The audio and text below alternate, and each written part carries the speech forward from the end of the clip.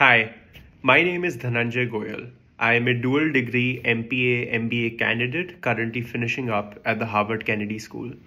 My venture is called DetoXyFi, and at DetoXyFi, we're building technology to enable access to clean drinking water as a human right.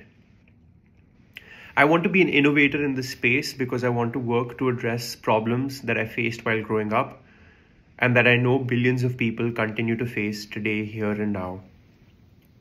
Growing up, I would spend every summer in the hills of North India with my grandmother. And I loved every minute of it.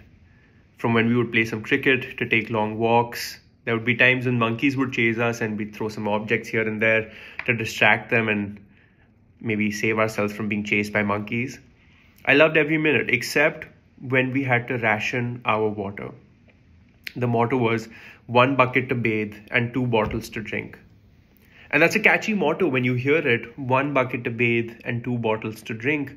However, it's extremely painful when you have to live through it. Over time, I realized that the issue was not so much water scarcity, but clean water availability. You fast forward to the, US, to the US and across the world, and you see that problem here and now from Jackson, Mississippi to Flint, Michigan to Las Vegas, New Mexico to California.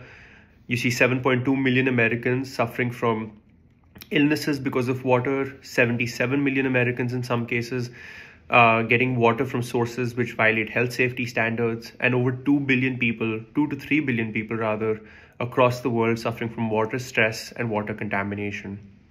We're here to solve that problem. We have a patent pending technology and a wonderful team we'd love to talk to you about.